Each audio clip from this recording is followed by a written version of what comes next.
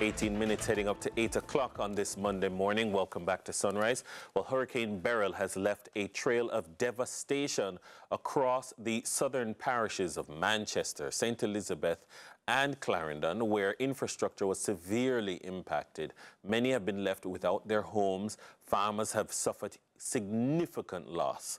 Member of Parliament for Southwest St. Elizabeth and the Minister of Agriculture, Fisheries and Mining, the Honourable Floyd Green, joins us this morning to share some of the untold stories from the ground and talk us through his roadmap for restoration.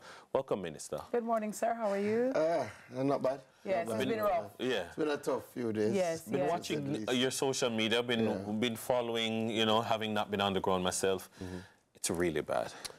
Yeah, it's really bad. To be honest, it's hard to capture it, um, even even in, in all the videos that you see because it's so extensive. You know, um, I, if I start calling community names, I probably miss some, but definitely, if you're familiar with Southwest St. Elizabeth, um, we have 10 to 15 communities that have been hit very, very hard, all the way from Flagaman down through Great Bay, Treasure Beach, Billy's Bay, all of that area into Short Hill, Newell, Newcomb Valley, Bacon, Barbary Hall, Stonefield, all the way up to Mountainside, Arlington Vineyard, all the way to Parottee, Wow. then over the bridge, Shrewsbury, Middle Quarters. So, I mean, it, it, it's, it's significant. And the loss is, you know, houses, um, Yes. roofs, it's, you know, Holland bamboo, I hear, is impossible. Well, that, that has been cleared. Cleared, That has been cleared, but Yes. Holland Bamboo did suffer significant damage Yes. um, to, to, to the bamboo itself. Yes. Um, extensive uprooting, extensive breakage. Um, so, you know, yeah, that, that, that is tremendous. What a number of people suffered from, a number of people lost their roofs. And Yes. again, we speak about it, but I- I just want you to contemplate losing your roof in the middle of a storm Yeah. right? Um, if you have somewhere to run to, you know, but if you don't, then literally everything gets It's wet. I mean, yeah.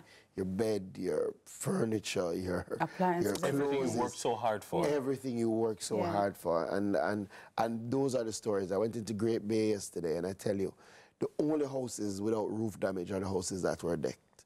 So I Wow. wanted to, to put it into context. I, I walked into a, a, a living room and you know the lady was saying to me that again, you know, we had some rains over the weekend and that when the rain started she ran to close the door Yeah. and then said, But this makes no sense. Sense, yeah. Because she literally has No. no roof. Let me ask ministers. Persons have some persons are asking: Is it that the the roofs there are in those parts? Uh, they don't have hurricane straps. Are, the hurricane straps were no match let me tell for you. Beryl. Beryl is like nothing anybody has ever seen. And, you know, St. Elizabeth people are not prone to exaggeration. I tell you, we, we don't speak about Gilbert. Gilbert was not a big hurricane for us down Yeah. that side, the south. We speak about Ivan. Yes. Ivan was the barometer in terms of damage that was done.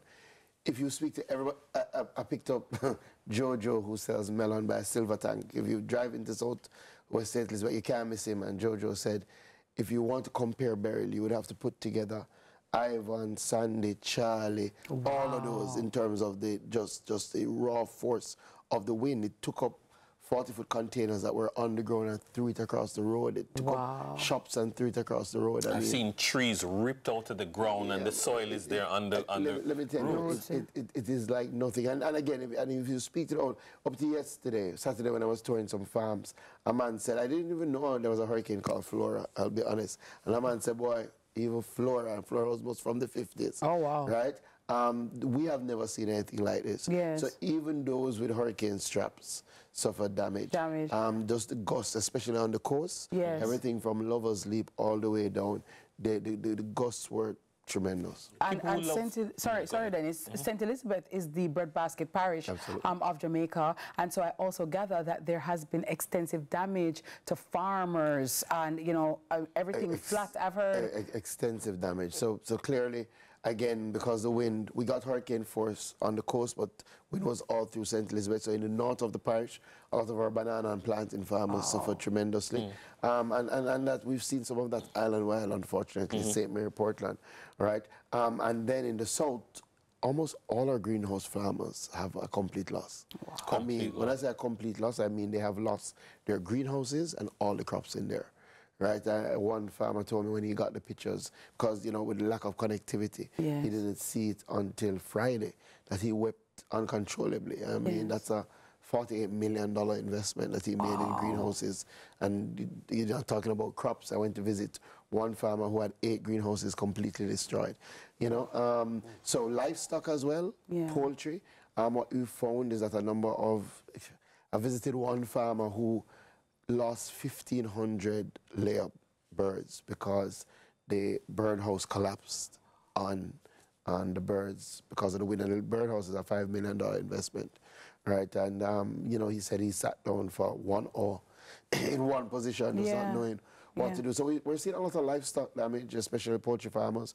Almost all our crop lines, um, cassava, tubers, we've got uh, outside of St. Elizabeth. Manchester, Clarendon, St. and Trelawney.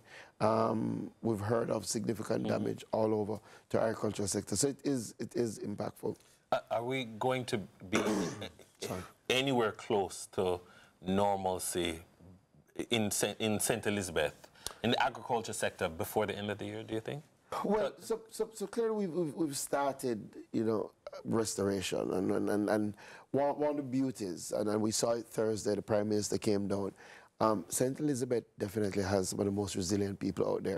And I tell you, I, I, went up to one lady, and I mean, you know, when you see the devastation, it's tough, especially we flew in and then we drove around. So you see from air, you get a, a, a wide cross section. And as a woman said, well, you know, once we're there, we can push through, right? And we're there, and we're happy you're there. Yes. So make we just do Yes. it. So um, we started by trying to focus on cleaning the roadways. All our roads are blocked. All of our roads were blocked. So we've got 90 percent of our main roads are already clean in Southwest St. Elizabeth. So that's you know you can get dual traffic. Some of them still have some areas where there are light posts that are somewhere removed, but we still have flow to come and do some. Um, I know we're going into the community roads. I think once we have that you know transportation, Mm-hmm. Accessibility. yeah, Yes. then people can move around. The other thing, though, we have to try and get back up some of our utilities, Yes. right? Um, clearly, what it means is that water is down because you don't have any electricity for the pumps. It means we have no electricity, and um, our Digicel service, which clearly is the biggest provider, has been down in most of the constituencies. So they've been working over the, over the weekend. We've gotten back Digicel to a couple of areas, Black River, Barbary Hall, parts of Watchwell, and they're continuing to work on the other areas. We've been working with Minister Samuda and, and the National Water Commission to see how we can get generators into some of our pumps. We have a major hospital, sorry, the Black River Hospital. today.